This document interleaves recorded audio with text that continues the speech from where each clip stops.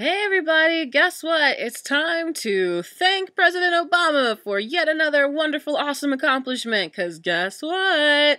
He's giving us today is free community college. I mean, not like literally today. So, like, when I say that, don't like take me like literally. I just mean like the announcement was made last week and I you know, was really happy about it. I just had to deal with some stuff, so I didn't really get a chance to like tweet about it or whatever.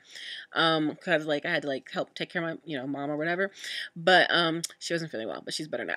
Anyway, so yeah, you guys should be like sending like thank you tweets and stuff to President Obama because he's like trying to get um everybody free education, and that's a really important thing. Personally, I believe that every wealthy society should pay to educate its youth and train every able member of its society to be the best, most highest contributing member that they can be.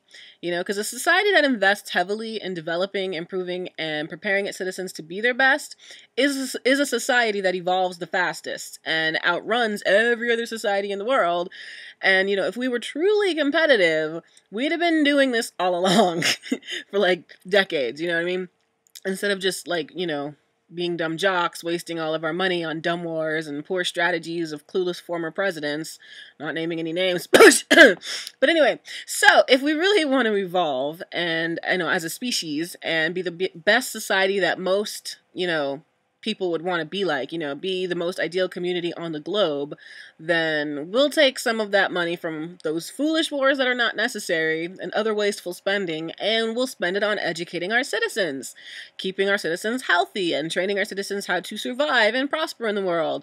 That's a society that actually, you know, has intelligence and uses her intelligence with, you know, wisdom basically. That's a, that's a society that is intelligent with her wealth okay? So i thank you very much president barack obama. You know voted for you twice. Very proud that i did and we both we all did. And everybody needs to thank you because you're the best president ever. And god bless now and always. Happy new year. And keep it swagalicious baby. Yes. Yes we can. Ha. We're pretty happy. We're pretty happy. It's a good legacy. Good legacy